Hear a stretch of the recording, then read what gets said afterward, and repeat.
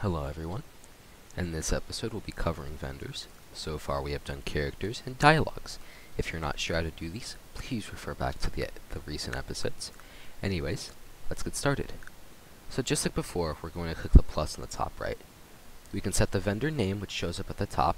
When you open up this vendor, it'll say selling or sell meth. In the description, which shows right under it, sell meth to Jordan. Now we can add item. Just like before, we're going to go back, go to Norfolk, copy the meth pouch. We can add item. And now in this new window, you see you have item in vehicle. In vehicle, you can paste in a vehicle ID and the price, and then the spawn point. The spawn point is set by your map's editor.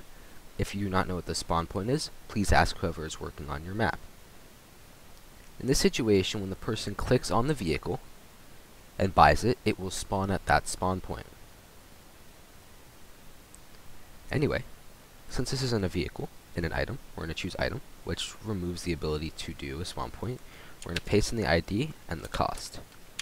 I might have a space at the end here, but I think I deleted it. Yep. Just like before, we can set conditions and rewards. In this situation, we don't have to. So we're going to close this. Actually, no, we need to click Save Vendor Item. And it saves it to here.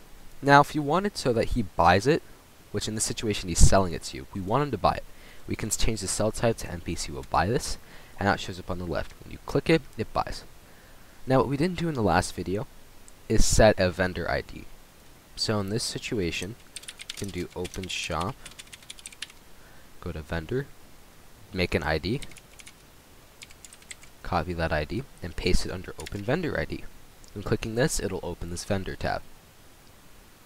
Now, since this is relatively done, we're good to go. However, we need to add the currency GUID over here since we are using a currency. Otherwise, it will default to EXP. So we're going to go back to the money model we're using, copy the currency GUID, and just paste it in. Works perfect. It's so beautiful and simple. Like, it'll convert it all to just the cash GUID you're using. That's it for vendors. Vendors are really easy. Next, we're going to do quests, and now you should know to do characters, dialogues, and vendors.